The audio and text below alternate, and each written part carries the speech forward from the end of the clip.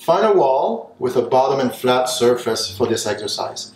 This exercise is going to be to increase your ankle mobility. You'll place your big toe about an inch from the wall and then from here you're going to touch your knee to the wall while keeping your foot fully flat on the floor. It's easy to cheat and lift your heel so be very aware of that. So from here I'm to go with my knee, touch the wall and right now I'm over my big toe. I'm to back up and now I'm to go over the middle of the foot, back up and then over the small toe. That was one time and you're to do it five times.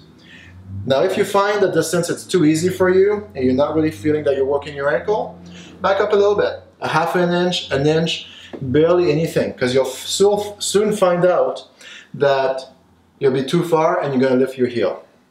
So um, right now I did the big toe, the middle, small toe. This is a good distance for me. So I'm going to do finish my five rounds with this distance.